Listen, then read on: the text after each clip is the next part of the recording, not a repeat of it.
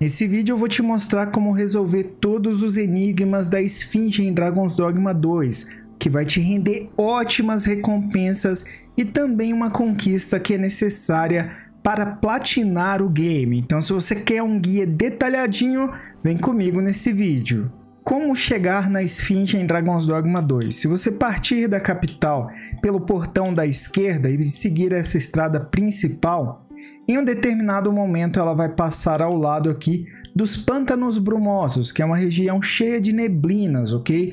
Você vai vir nessa direção então, e quando você entrar dentro dessa região de neblina, basta se guiar pelo fogo. Eu vou acelerar aqui para que vocês possam ver o caminho completo a partir desse momento.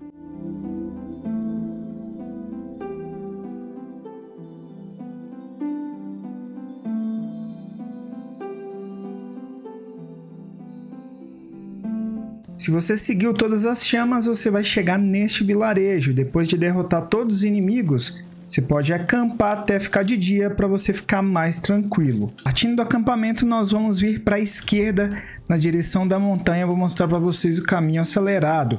Esteja preparado que tem muitas árpias.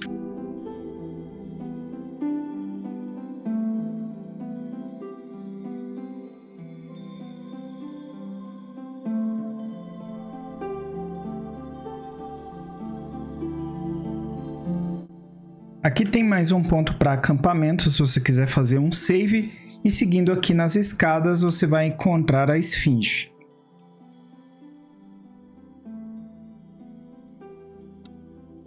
Vou mostrar agora como resolver os seus enigmas. Primeiro, o enigma dos olhos.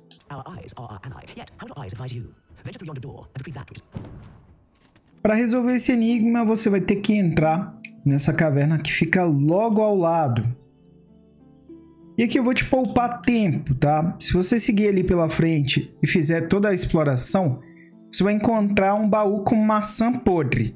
Mas aqui, ó, bem onde você menos espera, tem um outro baú que tem o um frasco de vedação. Vou te poupar da exploração, mas pode explorar aí se você quiser, ok? Com isso, pegamos o frasco e trazemos para a esfinge ela pede que você entregue o objeto de maior valor que você encontrou lá, entre uma maçã podre que vai estar dentro de um baú e o frasco de vedação, você vai entregar o frasco de vedação. Indeed, this is what no greater worth. Collect it from yon chest. Outstanding. Com isso, pegamos aqui o primeiro baú, uma Vitalita. Próximo é o Enigma da Loucura. Ela pede que apresentemos a ela a pessoa que mais amamos. Esse enigma tem mais de uma resposta e tem ali as pessoas que você pode fazer romance também. Mas a forma mais rápida de resolvê-lo é trazendo seu próprio peão, aquele que você faz aí no início do jogo. Então a gente vai colocá-lo ali e resolver o enigma. Is this your most beloved you bring before me? Not half bad. Yet only one you bring. I thought you capable of more.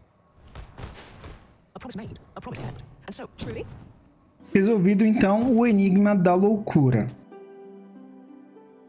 E ganhamos aqui um cristal de Porto, ou Port Crystal. Próximo é o enigma da sabedoria. Nesse enigma, ela diz que é uma criança desgarrada, que está sem laços e pede que você traga o seu genitor para que ela possa se tornar mais sábia. Eu recomendo que você coloque esse cristal de porto que recebemos dela aqui nesse ponto, pois vou mostrar para vocês um local que é requisito para que você resolva o enigma e possa voltar aqui utilizando aqui então uma pedra barca. Nós vamos então utilizar uma pedra barca e vamos para Harhav. Aqui no vilarejo de Harhav você já precisa ter visitado a Pedra da Fenda da Irmandade. Se você visitar essa fenda, você vai ver vários peões com o nome Sphinx Mother, Sphinx Parent, Sphinx Father que são peões e genitores da esfinge, né? Sphinx é esfinge em inglês, basicamente. Então você pode contratar um desses peões e levar contigo para apresentar para a esfinge. Ele precisa ter esse Sphinx Father,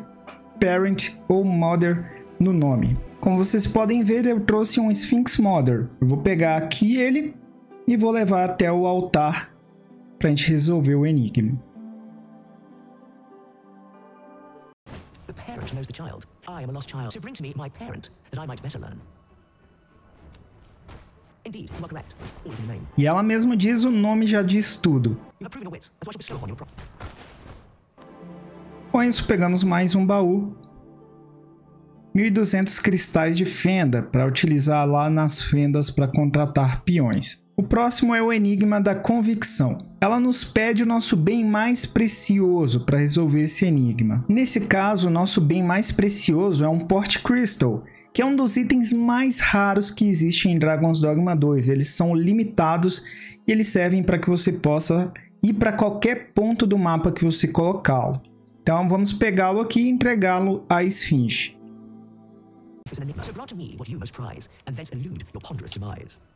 Selecionamos então o cristal de Porto. So, this is your prized possession. Do you consent to give it to me, knowing that it may never be returned? Well, well, very good. That's the spirit. Such generosity deserves a reward, methinks. Com isso, abrimos mais um baú. E ela nos dá dois cristais de Porto, devolvendo o que a gente entregou. Próximo enigma, pessoal, pode ser uma dor de cabeça para muitas pessoas. Recomendo que vocês coloquem novamente um Port Crystal aqui, pois vamos precisar nos deslocar e depois retornar até esse ponto. Recomendo que você já tenha um backup do seu save, né? Imagino que você já tenha feito antes de começar os enigmas. E você vai ter que ter boa memória, né? Senão isso aqui vai ser um problema para você. Ou você vai fazer isso num NG+, por exemplo, beleza? Então vamos lá. É o Enigma da Meditação. It's ever the first we keep fond in our breast, and ever the first that eclipses the rest. You know the seeker's tokens, I trust. Yet where was it that you found your first? Retrace your steps if you can. Seven days, shall we say, ere you return? Você ouviu o Enigma da Meditação. Ela pede que encontremos a primeira marca do indagador que a gente coletou, tá, pessoal? Você vai no local que você pegou a primeira marca do indagador, vai ter uma outra lá, você vai pegar essa marca e vai trazer para ela. Muitas pessoas podem não se lembrar e isso pode se tornar um problema. Às vezes é mais fácil você pegar no NG+, né? Se você procurar, procurar e não encontrar. Bom, pessoal, não sei se vocês sabem, mas eu já gravei um detonado 100% do Zelda Breath of the Wild. Lá eu peguei muito Korok, então quando eu peguei a primeira marca de indagador, de cara eu associei isso aos Koroks. Então eu me lembrei muito fácil onde foi a primeira, que foi aqui no cemitério. Ok? Chegando aqui, eu encontrei então a minha sem maiores problemas, ok? E ela fica como marca do descobridor. Ela recebe esse nome aí devido ao enigma. Então a gente vai levar a marca do descobridor de volta para ela para poder resolver esse enigma. Antes de resolver esse enigma, você tem que ter noção de duas coisas, tá? Após resolvê-lo, você pode pegar uma carona em cima do corpo da esfinge ou você pode simplesmente visitá-la no outro local que ela vai estar, tá? Que eu vou mostrar a localização certinho para vocês. Se você já for para a segunda parte, você já tem que estar bem preparado, tá? Tá com várias pedras barcas, conforme eu comentei aí no início do vídeo. Voltando aqui então para resolver o enigma, vamos entregar a marca do descobridor. Seeker's tokens are treasures indeed. Yet where was it that you found your first? Ah, I see I needn't have worried.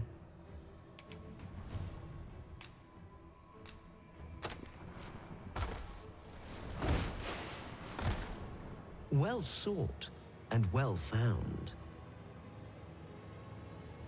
E aqui ela dá uma pista de que os enigmas ainda não acabaram e é um enigma também encontrar o local em que ela vai estar. Então temos duas formas de fazer. Podemos aproveitar que ela vai sair voando e já nos prendermos ao corpo dela e ir junto.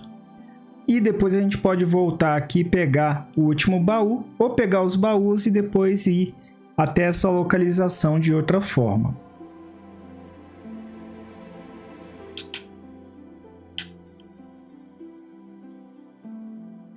Nesse caso, eu vou me grudar no corpo dela, tá?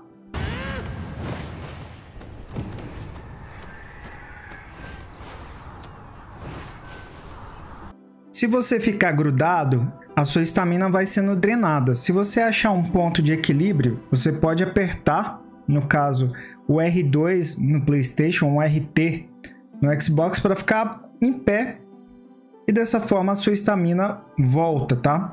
e agora é só esperar até ela chegar na localização.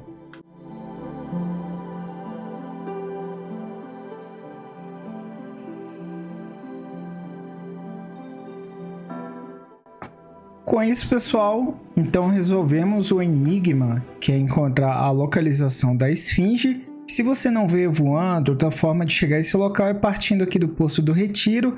Você vai passar por baixo dessa ponte na direção dessa estrada que está um pouquinho apagada aqui. Vem seguindo aqui pelo lado esquerdo do mapa, ok? Até chegar neste ponto aqui, em que a estrada tem uma bifurcação e você vai vir na direção sul até chegar aqui no Templo da Fronteira, que é o local que estamos, ok? Se vocês entrarem dentro da quest da Esfinge, vocês vão notar que tem um enigma aqui que é o enigma da reunião, que basicamente é localizar aqui a nova localização da Esfinge. Como nós localizamos, né, seja vindo nas costas dela ou vindo aqui posteriormente, esse baúzinho já vai abrir então, vai nos dar aqui 100 mil de dinheiro aqui desse jogo. Agora vamos começar a segunda parte dos enigmas da Esfinge, mas é importante que você saiba que essa ordem pode ser diferente para cada jogador. Tem um motivo para isso que vai ficar claro no decorrer do vídeo, mas se você começou aí e aparecer um enigma diferente para você do que você está vendo no meu vídeo, é por isso, tá? Tem uma ordem aí que é randômica. Então vamos lá, de qualquer forma, no final do processo você vai fazer todos, independente que a nossa ordem tenha sido diferente. Vamos lá. No meu caso, ela começou com o Enigma da Ânfora, que é esse vaso que a gente tem que entregar para o Maurits, que é um NPC lá de Batal. Esse é o primeiro que vamos fazer. Ela explicou que esse vaso é muito frágil, então é mais fácil irmos até Batal, buscar o NPC e trazer até aqui do que simplesmente tentar levar o vaso até ele. Então vamos lá. Eu já deixo um Port Crystal aqui bem perto da nossa casa em Batal e o NPC vai estar à esquerda, ok? Subindo aqui a rampinha que vai para casa, você vai para a esquerda, continua e ele vai estar aqui escondido. É este carinha aqui. Basta agarrá-lo e até um local aberto onde você possa usar uma pedra barca, utilizá-la e voltá-la para a esfinge. Traga o NPC até as proximidades do vaso e solte ele.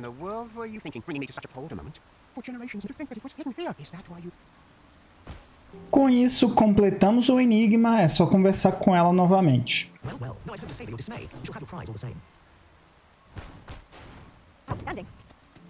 Resolvemos o enigma da futilidade e podemos abrir aqui mais um baú.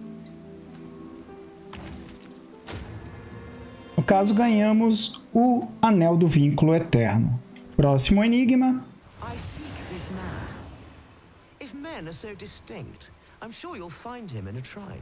Nesse enigma, a Esfinge pede que encontremos esse NPC. Ele está na região de Batal, só que ele está bem próximo também do posto do retiro, já que ele está um pouquinho depois daquela fortaleza, aquele portão que se abre. Então nós vamos para o posto do retiro e de lá vamos atravessar o portão e encontrar esse cara. Estamos aqui então em posto do retiro, na parte da noite, pessoal, aqui na frente da fortaleza. Vamos abrir o portão. E olha só o que encontramos aqui na parte da noite, galera. Exatamente o NPC que a Esfinge pediu. É só agarrá-lo, usar então aqui uma pedra barca e retornar. Colocamos o NPC aqui perto dela então e respondemos.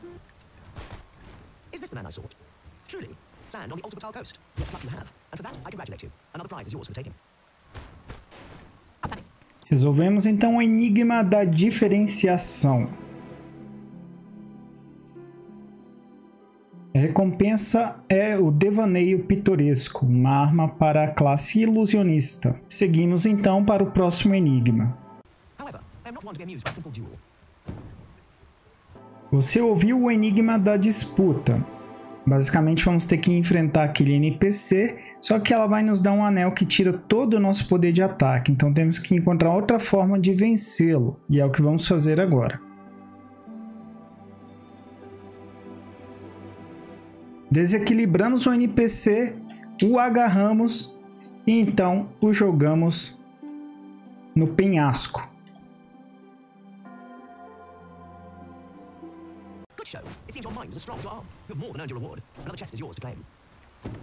Com isso, podemos abrir mais um baú e ganhamos o Anel da Ambição. E o próximo enigma é responder quantos enigmas nós resolvemos até agora. Por isso que os enigmas acontecem de formas diferentes para cada um e essa resposta pode ser diferente para cada um. Mas como que podemos ter certeza da resposta? É isso que eu vou mostrar para vocês agora. Se você se afastar um pouco da arena dela, você consegue abrir as missões vai contar todos que você resolveu. Então, Enigma dos Olhos é um, Enigma da Sabedoria está como resolvido, Enigma da Loucura está resolvido, são três, Convicção quatro, Meditação cinco, Reunião seis, Utilidade sete, Diferenciação oito, Disputa nove Basicamente, a resposta para o meu caso é 9. Vocês vão contar quantos estão como resolvidos para vocês, vão pegar aqui essas estátuas e colocar lá em cima. Nesse caso, galera, eu deixei apenas uma estátua aqui, coloquei as nove outras aqui e a gente vai conversar com ela novamente. Fala, cada pergunta respondida corretamente traga uma diante de mim. Nesse caso, eu respondi nove, né? Uma dessas nove foi encontrar a segunda localização dela. Are you sure of your count? My, that's quite a number. E aqui muito cuidado, meus amigos, porque ela diz que vai se retirar. Então nós temos que evitar que ela vá embora. Podemos atacar a parte de trás do corpo dela, não podemos atacar a parte da cabeça e nem dos seios, ok? Então vamos atacá-la e só depois pegar o baú.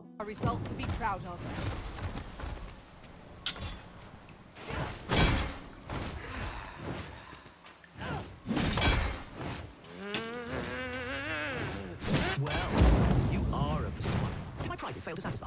Surely your greed is boundless. But soon you'll learn. Those who live by their greed tend to die by it. No, it is a pity. I take rather a liking to you. It will bring me no pleasure to spill your blood, but nor can I ignore so bold a challenge. Com isso, vamos abrir o baú, galera. Nós acabamos de ganhar a flecha aniquilante que estava ali dentro do baú, pessoal. Se você veio de arqueiro, você pode dar um único tiro e você já vai vencê-la, tá? Que é o que eu vou mostrar agora.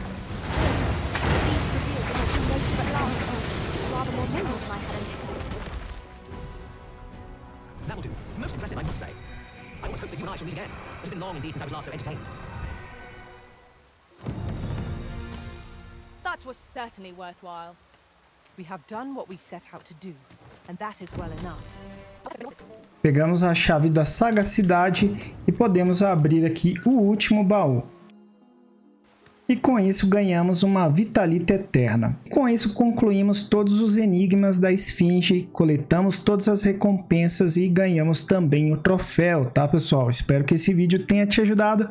Dá muito trabalho esse tipo de vídeo, então eu conto com seu like, conto com seu comentário aí também, tá bom? E se você não é inscrito, convite para se inscrever e continuar acompanhando aqui os conteúdos do canal e também a nossa playlist de Dragon's Dogma 2 que tá recheada de vídeos, né? Vou deixar a playlist do Dragon's Dogma 2 aí no final para quem quiser conferir. No mais é isso, ficando por aqui. Até o próximo vídeo. Valeu e fui!